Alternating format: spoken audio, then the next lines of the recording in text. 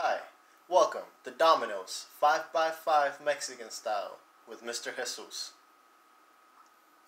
Now, by now, you probably think that you are Dominoes 5x5 Mexican style masters, but I'm going to slow you down. You are not masters quite yet. Today, I'm going to show you how to play defense. Now, we're playing this game with three players. Let's get right to it. Remember, this is the first game first round. Start with a double of sixes because that's just the way it goes. Now,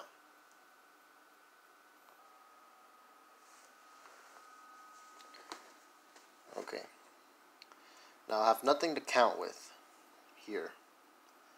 So what do I do? I want to make sure that the opponent has as little chance as possible of counting, the person that's to my right right? So this is a no-no. Do not, unless you have no choice, play the 6-4 after the double of sixes is played. Okay? I repeat, do not play this because you will be unlucky and they will have the double of fours. So do not play this, okay? Instead, play the other six you have. That way you have less chances of them counting anything. Now this is still all luck, you know, because they could still have the 2 and 3 and then count 15. But let's just see how it goes. Let's see what they have. Now, for the purpose of the video, I'm going to look at my opponent's pieces. What do you know? They had the doubles 4. Now let's rewind and see what would have happened if I had played the 6-4.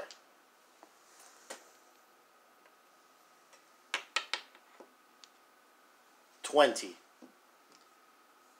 8 plus 12 is 20. We already showed you this combo move in another video. But just so you know, like you don't want to start off at that, you know? So you minimize the chances of them counting by putting the 6-2 instead. And what do they put? The double or twos. They don't count. Now it's my turn again. And we're focusing solely on playing defense. So if this is the scenario I'm in, this is what, what I'm thinking. Okay? If I play this right here, what pieces could my opponent count with? So if you have six total, what do you need to make 10? You need four, right? What's a way to add four to the board? Is by playing the 6-4, 10. Now, since I have it, I know for a fact that my opponent doesn't have it. So they will not count, no matter what, right? So this is the move I make and put them in a bind. Now, now I narrowed my opponent's options, you know, because I already established that the I had the 6-4 to count 10 with, and the 3-2 is already out here. So you can't put it again. You can't add two more to this side because it's already here. So those are two pieces that you could count with that I eliminated. So let's see what my opponent does. Again, scoreless. Now you can't you can't be sure. This isn't foolproof. You know you can only do your best. You're taking educated guesses based on probabilities. So what I'm going to do is I'm going to play this over here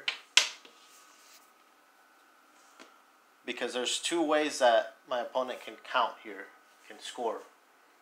You can add three here or here. Now, it's impossible to add three here. Why? Because this has already been played. So a piece that my opponent can score with is already down on the board, which means that they don't have it. Now, a piece that they might have is the 6-3. Remember, you can play off the first doubles on both sides, on all four sides.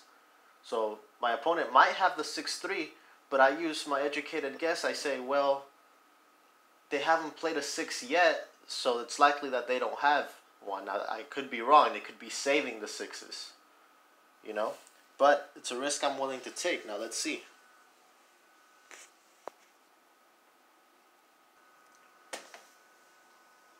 Does my opponent have 6-3? Nope. 0-1. So see, three turns in a row, scoreless, you know? Now it's my turn again. My opponent put this piece down. Now here I know we're focusing on playing defense, you know? But I could score 10 points. And then I would go again. Now, should I do that? The answer is yes. Try to score when you can. Even though we're focusing on defense, you know, it's only if you can't score. So, 10. Okay, remember, then you go again. Let's see. Now let's play defense again.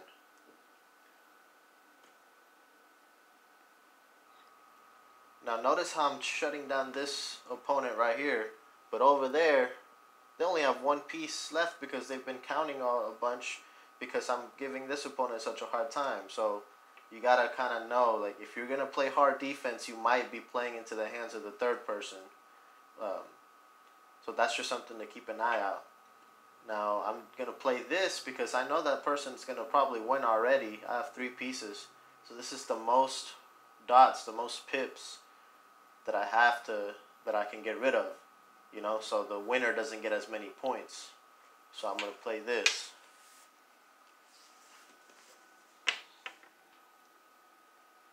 Now notice that here it's still mathematically impossible for them to count no matter what piece they have, they're not going to count again. You know, because they would need a they would need two points to make a total of 15. There's 13 on the edges right now. They would need two to make 15, so they would have a 6-2. Well, 6-2 is already out there, so no. Okay?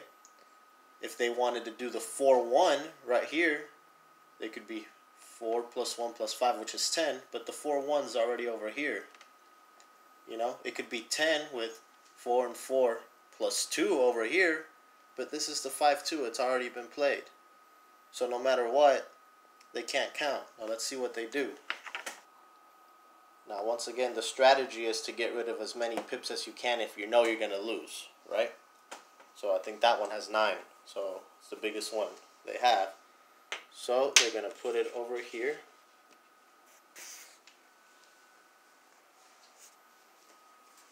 Let's see if my the third person wins.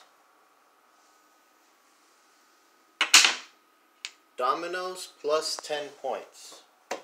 So 1 plus 5 is 6 plus 4, 10 points. That opponent wins.